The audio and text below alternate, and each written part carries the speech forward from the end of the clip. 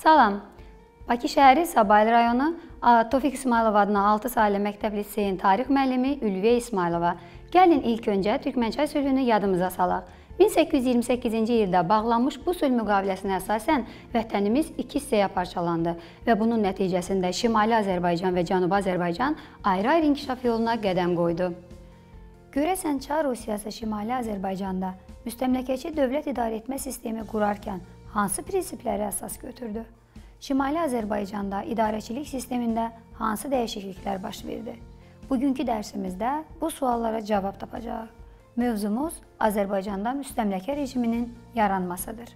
Dünyada ən ədalətsiz, antihumanist sülh olan Türkmənçay müqaviləsindən sonra xalqımızın müstəqilliyinin təminatçısı olan xanlıqlar ləğv olundu və Şimali Azərbaycan Çar Rusiyasının əyalətinə çevrildi.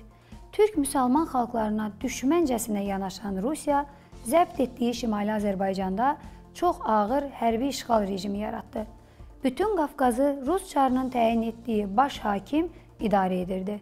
Keçmiş xanlıqlar, sultanlıqlar ləğv olunaraq yerində əyalət, dairə, distansiya yaradıldı.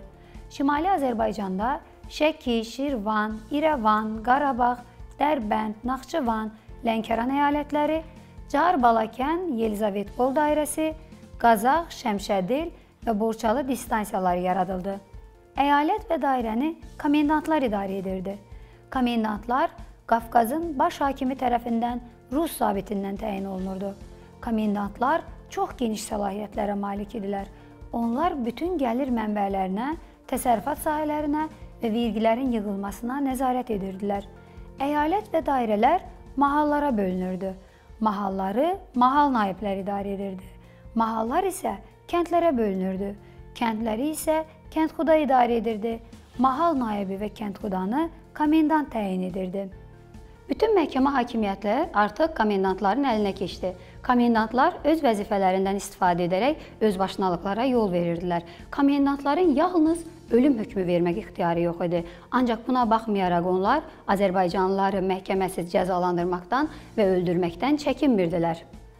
Çar hökuməti xanlıqlar dövründə geniş hüquq və imtiyazlara malik olan ali müsəlman təbəqəsinin bəy, ağa və ruhanilərin torpaq hüququna və imtiyazlarına ağır zərbə vurdu.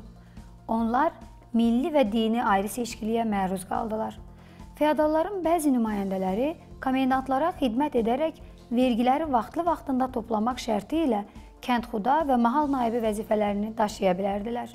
Komendantlar hökumətə sədaqətlə xidmət edən bu şəxslərə tiyul torpaqları bağışlayırdılar Rusiyaya düşmən olan bəy və ağaların torpaqlarını isə müsadirə edirdilər.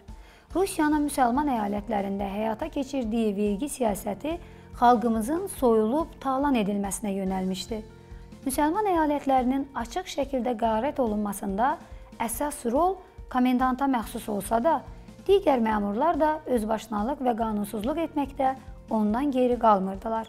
Kəndlilərin, sənətkarların və tacirlərin üzərinə qoyulan vergilərin miqdarı əvvəlki dövrlərdən qat-qat çox idi. Əhali getdikcə müflisləşirdi. Komendantlar toplanan verginin çox hissəsini acgözlüklə mənimsəyirdilər. Cüzi bir hissə verginin isə dövlət xəzinəsinə ödəyirdilər. Təbii ki, belə hallar mərkəzi hakimiyyətin diqqətindən yayınmadı.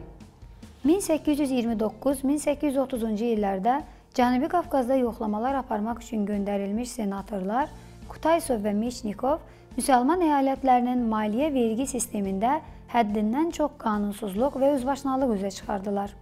Onlar Çar 1-ci Nikolaya göndərdikləri raportda yazırdılar. Müsəlman əyalətlərində Rus dairə rəislərinin və komendantların azğınlığı və əhalinin çəkdiyi əzab-əziyyət adamı dəhşətə gətirir. Burada insan ləyaqəti tapdalanmış, hər cür ədalət unudulmuş, qanun isə yalnız əsarət aləti olmuşdur. Bölgənin müsəlman əhalisinin səbir kasası dolmuş, lakin xoşbəxtlikdən daşmamışdır. Senatorlar Şimali Azərbaycanda üsyanların baş verəcəyindən ehtiyat edərək çara komendant idarə üsulunu dərhal ləğv etməyi təklif etdilər. Rusiya imperiyası Şimali Azərbaycanda özünə xristian əhalidən etnik dayaq yaratmağa çalışırdı. Məhz elə bu məqsədlə Cənubi Qafqaza, o cümlədən Şimali Azərbaycan torpaqlarına erməniləri, rusları, almanları və digər xristian əhalini köçürməyə başladı. 19-cu əsrin əvvəlində Almaniya əhalisi 1-ci Napoleonun işğalçı müharibələri və feodal zülmü nəticəsində çox ağır vəziyyətə düşdü. Hətta əhalinin bir hissəsi vətənlərini tərk etdi. 1818-ci ildə Rusiya hökuməti Cənubi Qafqaza köçürdüyü alman ailələrinin bir hissəsini Yelizavetpol, yəni Gəncə dairəsində məskunlaşdırdı. Qafqazda salınan 8 alman koloniyasından ikisi Şimali Azərbaycanda idi. Bunlar Yelnendorf, indiki Göygöl rayonu ərazisində və Annenfeld, indiki Şəmkir rayonu ərazisində alman məskənləri idi. Çar hökuməti belə hesab edirdi ki, alman kolonistləri bölgədə Avropa əkinçilik mədəniyyətinin yayılmasında mühüm rol oynayacaqlar. İlk vaxtlar bu koloniyalar Azərbaycandan yığılan gəlirlər hesabına saxlanırdı. Almanların məskunlaşdırılmasından sonra Qərb bölgəsində yaşayan yerli Azərbaycanlı əhali də almanlar kimi altı zirzəmili, üstü çardaqlı, damı kirəmitli evlər tikməyə başladı.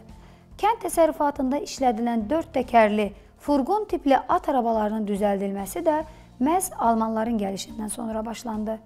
Eyni zamanda almanlar da yerli əhalidən müəyyən kənd təsərrüfatı vərdişlərini mənimsədilər. Rusiya imperiyası Osmanlı və Qacarlar dövlətinə qarşı gələcək işğalçılıq planlarını həyata keçirmək üçün Azərbaycan torpaqlarına erməniləri köçürməyə başladı. Məhz elə bu siyasətin nəticəsi idi ki, 1828-ci ildə imzalanmış Türkmənçay sülhünə və 1829-cu ildə imzalanmış Ədirnə sülhünə əsasən Azərbaycan torpaqlarına kütləvi surətdə erməni əhali köçürüldü. Rusiya ordusunda xidmət edən erməni zabitləri bu işə cəlb olundu. Bu siyasətin həyata keçirilməsinə rəhbərlik edən erməni mənşəli Rus polkovniki Lazarev İran ərazisindən Şimali Azərbaycana köçürülən ermənilərə müraciətlə belə deyirdi. Orada, yəni Şimali Azərbaycanda siz xristianların məskunlaşdırıldığı yeni vətən əldə edəcəksiniz. Tələsin. Vaxt qiymətlidir.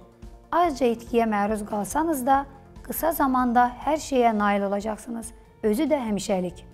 Rusiya imperiyası erməniləri əsasən keçmiş İrəvan, Naxçıvan, Qarabağ xanlıqlarının ərazilərində və Borçalıda məskunlaşdırmaq siyasəti yeridirdi.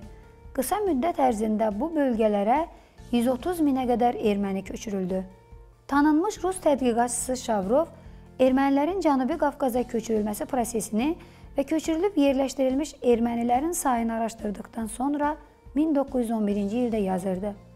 Hazırda Cənubi Qafqazda yaşayan 1 milyon 300 min erməninin 1 milyonundan çoxu bu diyarın yerli əhalisi deyil. Onları buraya biz köçürüb gətirmişik. Sonrakı dövrdə bu proses davam etdirildi.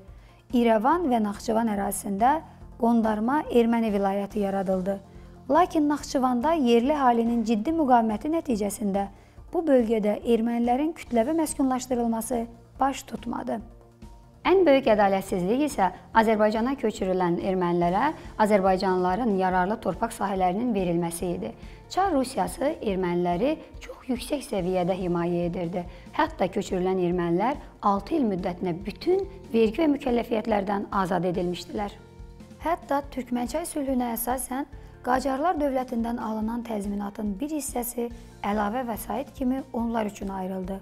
Ermənilərin kütləvi surətdə köçürülüb gətirilməsinə baxmayaraq, Çar hökuməti Şimali Azərbaycanda əhalinin etnik tərkibini uzun müddət dəyişdirə bilmədi.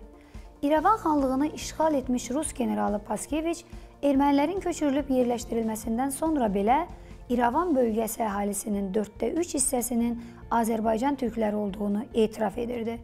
İşğaldan sonrakı dövrdə Şimali Azərbaycana Rusiyanın mərkəzi quberniyalarından Rus kəndlilərinin köçürülməsinə də başlandı. İlk vaxtlar Rusiyanın mərkəzi quberniyalarında rəsmi pravoslav kilsəsinə qarşı çıxanlar ölkəmizə sürgün edildi. Çarın 20 oktyabr 1830-cu il tarixli fərmanına əsasən Şimali Azərbaycan torpaqlarına rus, təriqətçi və bidətçi ailələri köçürüldü. Təriqətçi xristian dinində köhnəlik tərəfdarları, bidətçilər isə yenilik tərəfdarlarıdır. Köçürülən rus ailələri əsasən Qarabağ, Şirvan və Lənkəran bölgələrində məskunlaşdırıldı və Şimali Azərbaycanda 30-a yaxın rus kəndi salındı. Köçürülən rus əhalisi ilk vaxtlar yerli əhalinin hesabına ərzaq məhsulları ilə də təmin olundu. Azərbaycana rus kəndlərinin köçürülməsi nəticəsində yerli əhaliyə məxsus yaylaq və qışlaqlarda rusların yerləşdirilməsi ilə ənənəvi yaylaq və qışlaq təsərrüfatlarına ciddi zərbə vuruldu. əhalinin yaşayış səviyyəsi aşağı düşdü. Çar Rusiyasının Şimali Azərbaycanda yaratdığı müstəmləkə rejimi sonrakı köçürmə siyasəti istənilən nəticəni vermədi. İşğaldan bir qədər sonra Çar Rusiyasının müstəmləkə siyasətinə qarşı üsyanlar baş verdi. Bu üsyanlar haqqında məlumat əldə etmək istəyirsinizsə, növbəti dərslərimizi izləməyi unutmayın. Diqqətinizə görə təşəkkür edirəm. Hələlik.